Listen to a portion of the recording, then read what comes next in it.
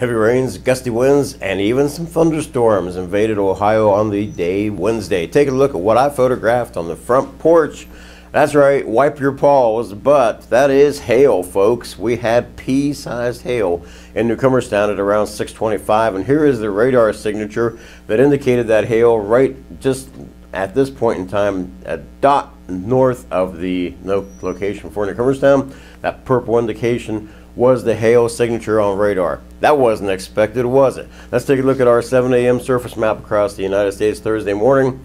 Well, you can see low pressure skedaddling its way to the northeast over Lake Ontario right now, pulling a cold front southward, and it's moving to the northeast as we speak. High pressure trying to build its way in from the central plains, but until it does so, we've got a trough of low pressure system that's swinging its way through the Ohio Valley. Let's take a look at our future view map. It'll dictate what's going to happen. You can see the occasional snow shower activity expected from 7 p.m. Thursday until 7 a.m. Saturday.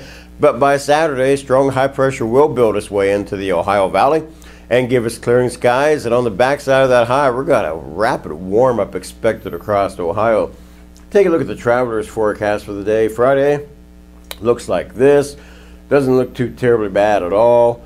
Uh, could be some scattered snow showers in northeast Ohio as a result of some lake effect. Otherwise, skies will slowly clear out. It'll remain cloudy, but the temperatures will be on a slow uh, rebound at that point in time.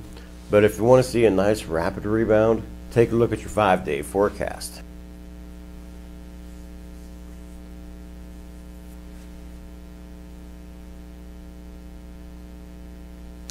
That's right. Temperatures will be in the mid 30s on the day of Friday, mid 40s on Saturday, and in some parts of Ohio by Sunday, temperatures will touch, if not exceed, 60 degrees. That's right.